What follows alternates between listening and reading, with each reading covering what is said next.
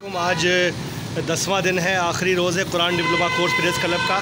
और आज जो है वो इन बहुत तकरीब तकसीम इनाम है और हमें सर्टिफिकेट मिलेगा इन बहुत अच्छे दस दिन गुजरे। और प्रेस क्लब का यह मंज़र हैदराबाद, आज है चार पाँच चार अक्टूबर 2021 और दिन है पीर का।